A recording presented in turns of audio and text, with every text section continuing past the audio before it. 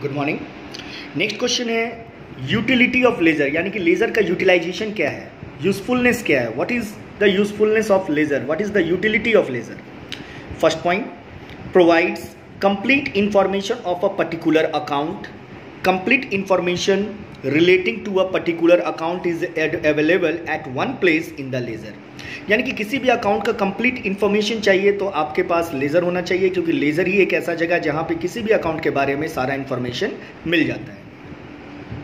Information of income and expense in ledger a separate account is maintain for each income and expense the amount of total income and total expense is known from the ledger account यानी कि ledger account के through business में जितने तरह के expense है यानी कि direct expenses indirect expenses income में डायरेक्ट इनकम और इनडायरेक्ट इनकम इन सारों, सारा चीज़ों का डिटेल जो है हमें लेज़र अकाउंट में मिल जाता है। Preparation of trial balance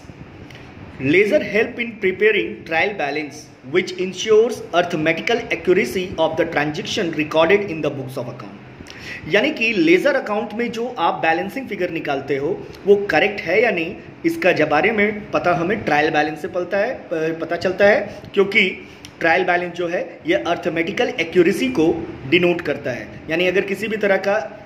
amount से रिलेटेड प्रॉब्लम है या अर्थमेटिकल एरर है तो वो ट्रायल बैलेंस में शो हो जाता है। Helpful in preparing final account After preparing trial balance, final account are prepared to know the profitability and financial position of the business. यानी कि जब